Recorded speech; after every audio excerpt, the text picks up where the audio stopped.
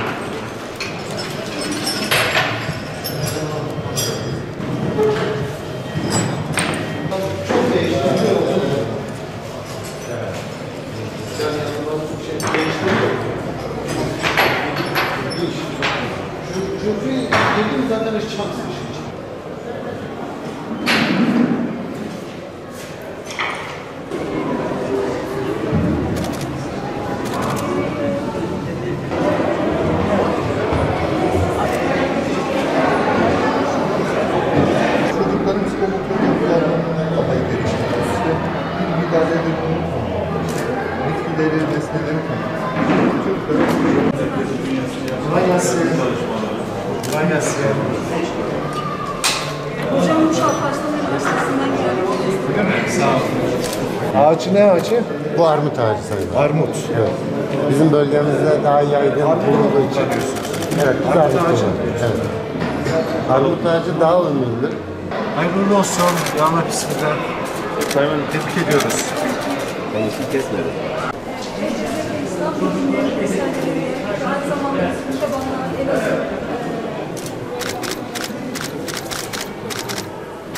She visits. So.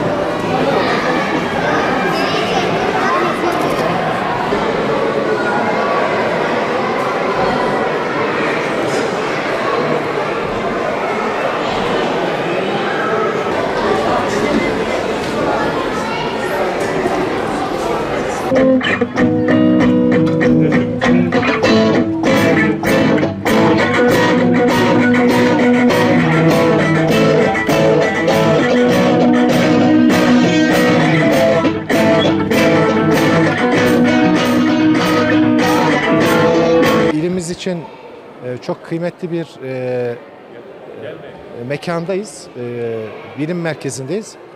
Bu merkezler Türkiye'de sayılı vilayette var. Bunlardan bir tanesi de Elazığ sahip. Onun için çok şanslıyız aslında. Bura, buranın esas misyonu şu, bizim eğitim sisteminde verilen teorik eğitimi pratik eğitimle, uygulamalı eğitimle takviye etmek. Yani ilkokuldaki, ortaokuldaki, lisedeki hatta üniversitedeki öğrencilerin öğrendiklerini e, uygulayabilecekleri, deneylerini yapabilecekleri veya teorik olarak öğretmenlerin anlattıkları konuları burada gelip e, görerek e, e, bilgilerini pekiştirmelerine destek veren merkezler. Bugün de yeni atölyeler açtık e, merkezimizde. İnşallah merkezimiz her geçen gün e, yeni alanlarıyla, yeni fonksiyonlarıyla büyü- büyümeye devam ediyor. Çocuklarımızın kalıcı öğrenmeye ihtiyacı var. Ezbere dayalı geçici öğrenmeye değil, kalıcı öğrenmeye ihtiyacı var. Bu merkezlerin de tam olarak fonksiyonu bu.